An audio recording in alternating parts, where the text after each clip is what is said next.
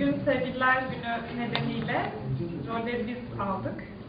Türkiye Odalar ve Borsalar Birliği, Ordu Genç Girişimciler İcra Kurulu üyeleri 14 Şubat Sevgililer Günü olması sebebiyle Şubat ayı mutat toplantısını eşlerinin katılımları ile birlikte gerçekleştirdi.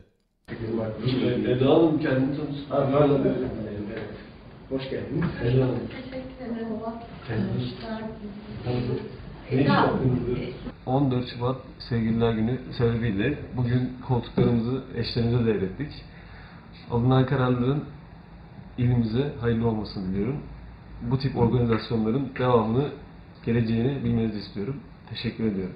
E, Arkadaşlarım da Ordu Ticaret ve Sanayi Odası toplantı salonunda gerçekleşen toplantıya Türkiye Odalar ve Borsalar Birliği Genç Girişimciler İcra Kurulu üyeleri ve eşleri katıldı.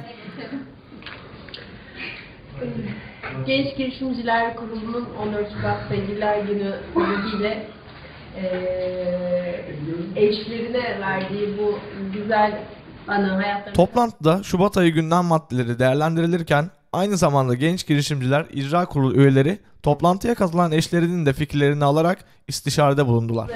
katılımları için herkese çok teşekkür ederiz.